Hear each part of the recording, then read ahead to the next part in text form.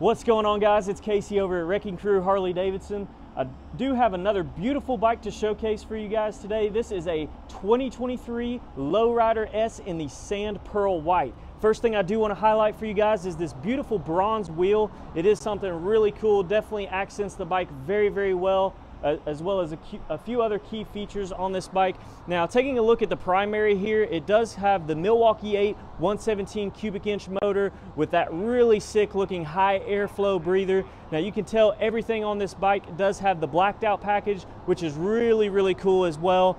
Definitely easier for you guys to keep clean. Now, this bike is set up for the solo setup but you guys can put a two-up seating pillion on there as well for those of you who do like to ride two-up. So why don't you guys come on down to Wrecking Crew Harley Davidson and check out this bike before it's gone.